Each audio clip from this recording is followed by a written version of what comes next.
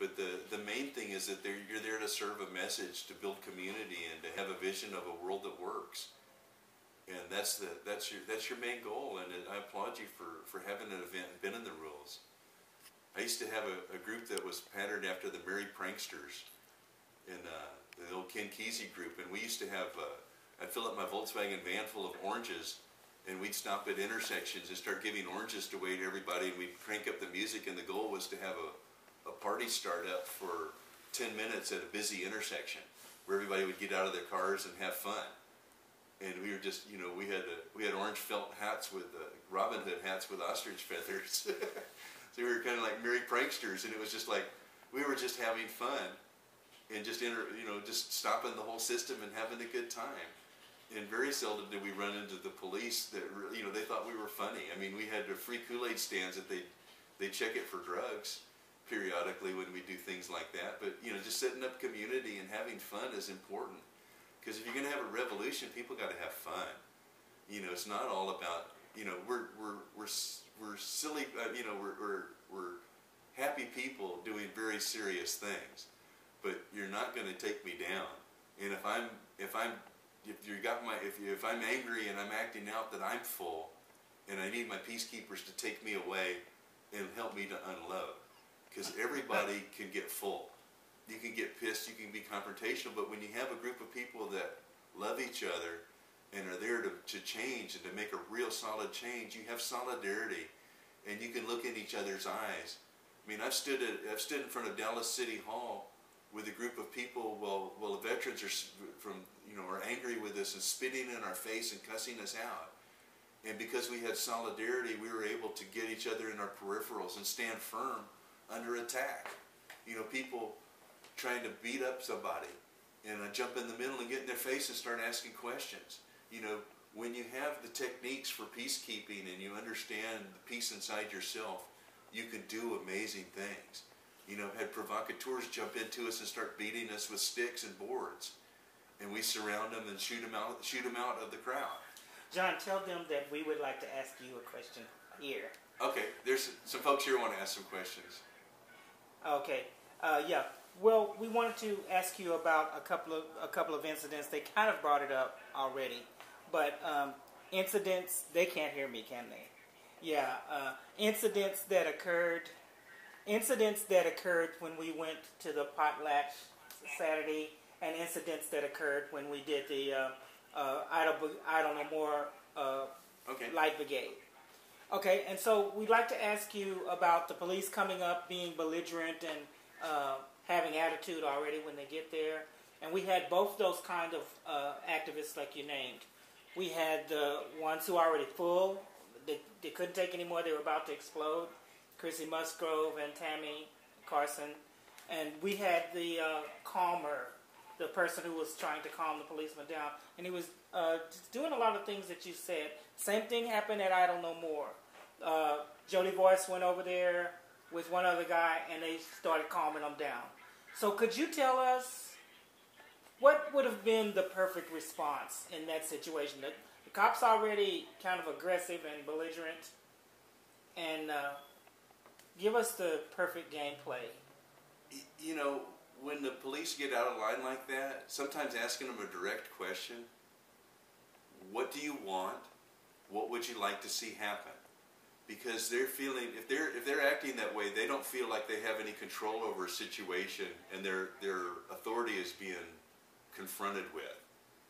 And so, giving them temporarily giving them back their authority can diffuse the situation. It's like how do you work with the energy inside of them? What are they needing right now? You know, if you ask people, what do you need? What would you like to see happen? Then it gives them the opportunity to talk about it and that lets the energy out. You take, you're taking a full container and you can't put anything else in it. When somebody's full, they can't take anymore and that's when they explode. And then you go, the danger is you go to rage.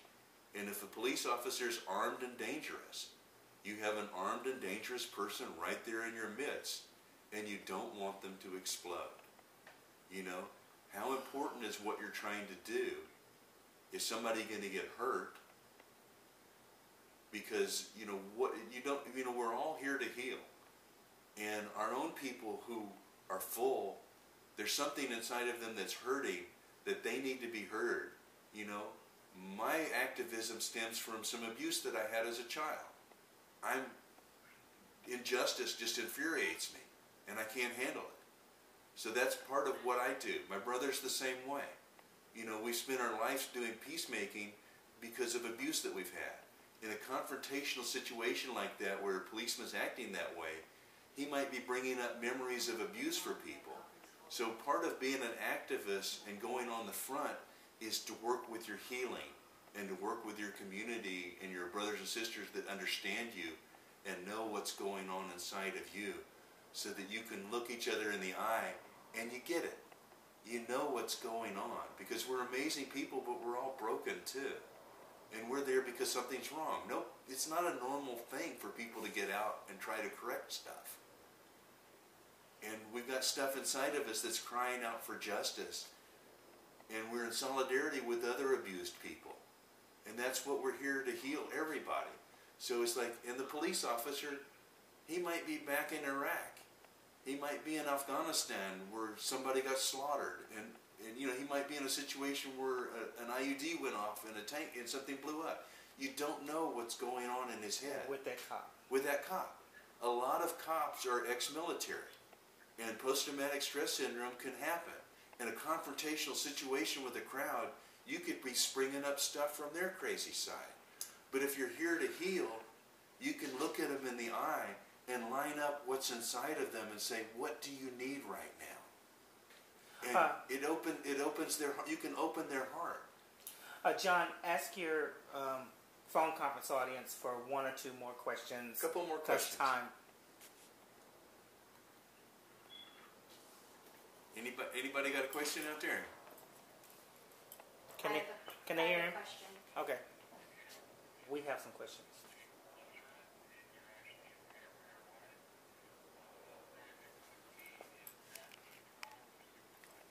Right?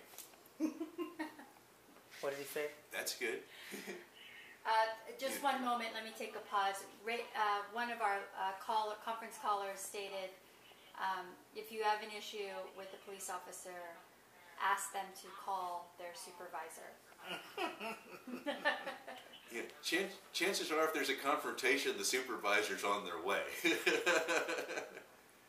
you know, I've gone from, from provocateurs jumping into a crowd of people to, to, to fist fights to, to pinning people down and having their feet on somebody's neck to uh, to getting permission to do evening prayers in the sidewalk and in the parking lot of the place where we're at. You can, you know, amazing confrontations can change you know, do, don't don't be surprised for how far things can swing when you're when, when you're in situations, and everything's different. You never have the same things happen, and, and being with a group of people who are activists, you develop a language for things. But yeah, it's good to have a supervisor there. It's good to have internal review show up. No, actually, supervisor was uh, grumpy and aggravational, you know, when he showed up. But the uh, direct question of, you know, what do you want? We want to comply, uh, because he was trying to agitate people like police do to, you know, try to search out and arrest and ask you questions and all this. I simply said, you know, I really don't have to answer questions. I would like to know what you want. Right? right? So, I mean, there's there's all sorts of weird tricks that the police pay, play. Even simple things like, "Can I talk to you?" Right. is a legal binding contract in Texas. And if you say, "No, I'm Yeah. on a schedule. I'm kind of busy. Could we do this another time?" Right. You can walk away from a police officer. Right. So Cons- there's right. Consensual contact is, is, is real important to, to understand. There's a whole other level of dealing with the police and roadblocks and harassment that, uh, You're getting Luke because of the Oh, mic on that's his why I neck. wanted to turn it off. Yeah, turn off the neck mic. Okay. Yes, let me have it. There we go. there's conf- you know there's there's ways of dealing with roadblocks and confrontation. If you uh, you know again going back to the Rainbow family, there's a there's a, a on the website there's there's Google uh, Rainbow Roadblock 101, and it's got incredible information, you know, really articulate information on how to deal with a police roadblock, how not to be searched. You know, you, to say you don't have time, you know, you, for somebody to, to, to search you or to engage with you, if you don't have consensual contact, you say, I'm really in a hurry, I don't have time for this conversation. Those are perfect words. And if you're being stopped and harassed, you could say, I don't have time for this, I need to go. Are there clear and You just have articulable to back it off. are there clear and articulable facts that you need to, that, you, that, are- that you're here to discuss with me? Just say, I don't have time. Are there clear and articulable facts that you want to discuss, that you need to discuss with me, or is that, are you stopping me for that reason? And a, if they say there aren't, then they're, they don't have consent. You know, the words clear and articulable facts is a, is a great phase, a phrase to memorize as well as, uh, I don't understand. Those are, those are probably my two favorite things to, uh, to have uh, under, under police contact and confrontation. But, you know, there's, there's a lot of different levels of how to deal with them. But knowing who you are is the most important. I mean, basically, we're all there for the common good. For the, for the most part, they're there to make sure that there's, there, that things are orderly and that everybody has access to the same rights. And I like to think of them that way, that they're there to protect us. You know, when we do peacekeeping, you know, I always tell the people that are working with me, we're not the police. If there's a provocateur, there's an agitator, point them out to the police. Isolate the situation, hand them over. You know, we've had we've had all kinds of uh, stuff where the you know, the I'll, I'll have my peacekeepers along the route, and they'll they'll check in with me, and if there's a situation, I'll alert the police as to where we think there's a confrontation You can put these back and they'll show up and then, and our peacekeepers are there, 'Cause we we, weren't we getting say, the uh, our code word is don't feed the bears. Is don't give somebody attention, don't feed them any energy.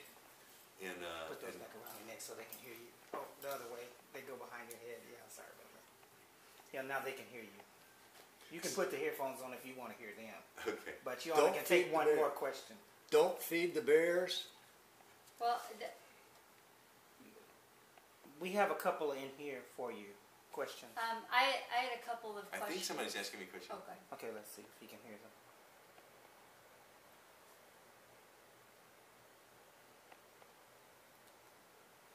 Yeah, we need to be on the call, but like we have to be back from the sound.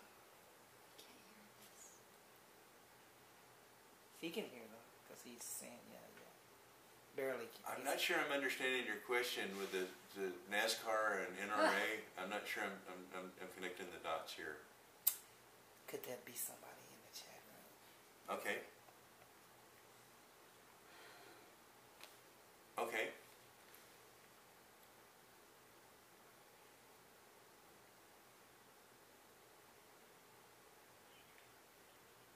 Tell him to keep it short so you can repeat it.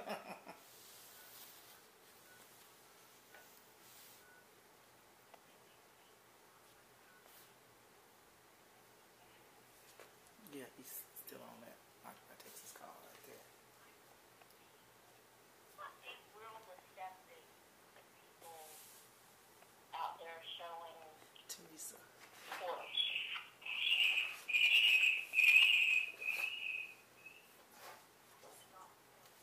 I'm not sure. The violence. Boycotting. If we were there, we'd be telling her to wrap it up.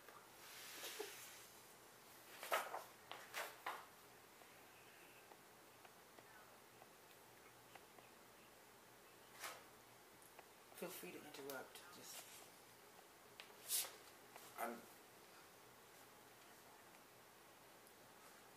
Can did you get did you get a question? I'm not hearing very good. Um, Teresa, can you sh- repeat that, um, but make maybe it in one short. sentence? Yeah, make it real short. We're running out of time, Teresa.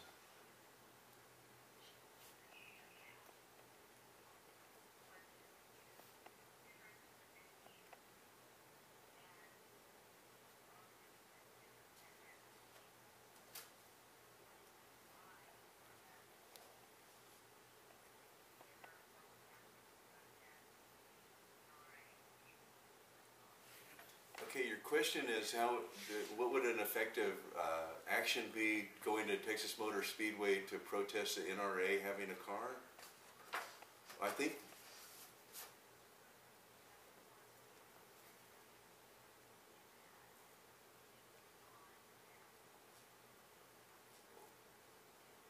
I think you know you, are going to have a photo op with a car, and if you if you were to have your own signage like on a T-shirt where everybody has you have a message that's on T-shirts and everybody unbuttons their shirt and stands in front of the car and does a photo op, or has an action or, or some quick banners that you can take your own pictures and then broadcast that. You can generate your own news. You can generate your own news and and uh, and do a press release that such and such an action happened, and you can control it in a short time period and get in and out. You know, the, the, the question is what level of confrontation you're willing to have. And how clear is your, how clear is your message articulated? And, you know, if you have photographs of their car, of their specific messages on there, you know, uh, John, tell them you have a couple of questions here. Right, but it, it, the question is, you know, what what is the technique you want to use and how effective it is, and that's that's a little, you know, if you're getting into confrontation and, and how you deal with the police or how you're going to deal with an authority or what kind of trouble you want to get in, you, you just have to brainstorm that a little bit more. And uh, you know look at this the logistics and how to do it. it has a cutoff. That clock is correct. The conference has a cutoff. I think it's ten, not nine. Right. I mean, the most most violence I've ever encountered was uh, was putting asking people to buy nonviolent toys for Christmas outside of Toys R Us at, at uh, Mesquite. you know, that was the that was the most violence and, and the harshest uh, reactions I've ever gotten at any protest or any event I've ever done was at Toys R Us. You know, just asking people not to give guns to their children for Christmas. And we had a photograph that, that, that we that we did in the Dallas Police Department uh, gun section. I mean, they were they were their most avid supporters in a No Guns for Christmas campaign. You know, because the guns we had photographs of guns that were toy guns that were used in crimes, and a real gun, and it said, uh, you know, guns are for killing, toys are for fun. If you're a police officer, can you tell which is one? And there was one real gun and a whole table full of toy guns, and uh, this was something something people just found incredibly offensive. But you know, just uh, being on private property, what are the rules of engagement? If it's public property, if it's private property, and you know how fun you can be with your with your technique or what you want to do. I mean, you know, I've, I've been in actions where we printed our own front page of the newspaper on, uh, on 11 by 17s and stuck it, you know, stuck a couple quarters in the newsstands and, and put our own front page ad, ad on the thing for uh, Lloyd Bentsen arrested for uh, covertly trying, you know, plotting uh, assault, you know, bombing in El Salvador. You know, there's there's all kinds of fun things that you can do covertly, and uh, you know, but there, there's it's, it's a matter of technique. I, Take- take I have the a couple of questions. questions I wanted to get in From before Occupy we, um, from, um, from some of the members of Occupy Now. Um, the first question is, um, if you could, uh, define nonviolence in regards to self-defense, property damage, aggressive gestures, and or language. Nonviolence is, you know, it's it's not something that's just a, a specific act. I mean, ahimsa is the ultimate nonviolence. It's a dynamic harmlessness. You know, Abbie Hoffman used to say, uh, property doesn't have inherent rights. You know, but it's like the question, you know, uh, when you do an action and you have consensus with your group of people that are doing it, I'm not going to tell you what you can do or what you can't do, what's appropriate, what's inappropriate. Nonviolence as a technique means you don't do harm, but it's also a lifestyle for yourself. Gandhi used to say you can take a commitment to nonviolence, but if you want to live it, that's only the first step. It's a lifestyle. It's ahimsa means you don't do harm, but it doesn't mean you're not active. But when you're correct, if your if your goal or your objective is to win, that's what you need to look at. If you're there to do an action, have a vision of what your result is that you want and how you're going to win, how you're going to achieve collectively that goal. And then with solidarity, you can come together and achieve that. You know, blocking a doorway could be violent to somebody. But if you're block, if that's your action that you've agreed upon and you're in solidarity and everybody wants to get arrested, sitting in a congressional office and being arrested for trespassing, that congressional office might think that's violent, but not hurting anybody, but speaking your truth in solidarity you know, a pledge of resistance is not necessarily non, is, to somebody might be considered vi- nonviolence, but it's a nonviolent re- response. When you don't hurt anybody or anything, that's nonviolence. But you, you come together, you know, I'm not going to tell you what your goals or objectives are. This is something you come together in solidarity to do. But I encourage you to have a vision of what it's like to win. Okay, And I have let's one more question, Yeah, let's have your question, just, but um, uh, to hold your answer because I've got to piggyback off of that, um, do you believe that open collaboration between militant and nonviolent groups is important, or should they act separately? One second. One second.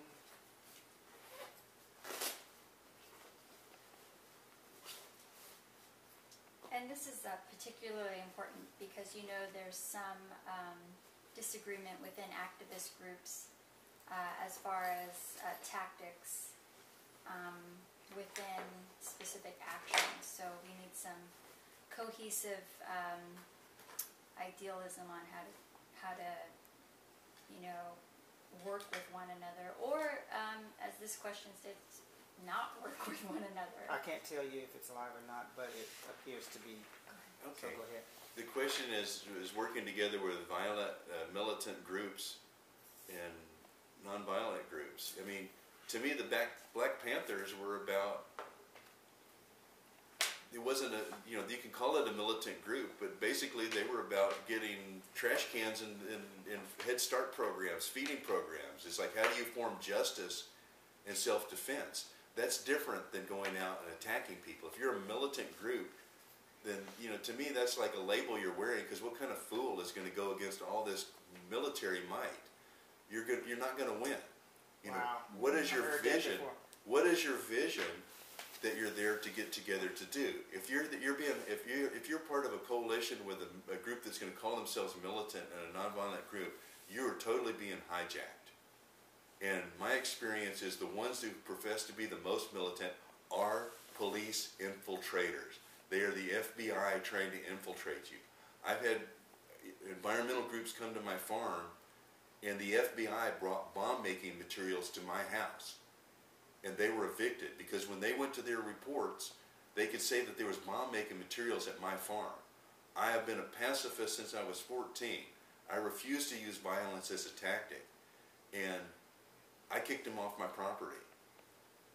You know, they're going to use everything they can to disrupt you and hijack you. And if you're a violent movement, you're going to lose in this country because they got all the guns.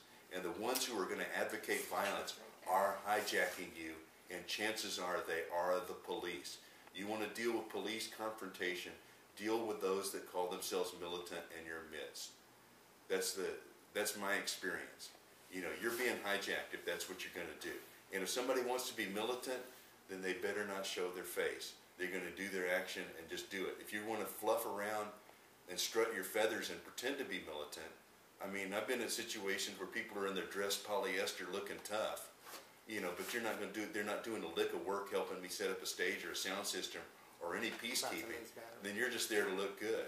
But I mean, I've been at situations where we're confronting the Ku Klux Klan in, in Tyler, Texas, and all the AK-47s are in the trunks of the car, and the people that are the real militants are going, "Don't worry, Johnny, we got your back covered."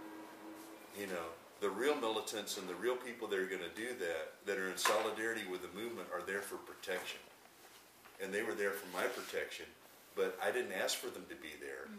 They're my friends, and they're supportive. But a real militant isn't going to wave their militancy in your mm. face. Only a police provocateur is going to wave their militance in your face, or somebody who's immature or feeling that they don't have power because the use of violence is saying that I don't have power. If you have rage, that's a destructive act of anger. We're all angry, but use your anger for positive change. I mean, be careful for those that are wanting to say you're militant because there's something psychologically wrong with that situation. Because if you're real militant, you're not going to show your face. It's a bad tactic. One last question for you: reform or revolution? I think I think that you know, my own personal philosophy is I'm an organic farmer, and if you don't participate in the situation, you've neutered it.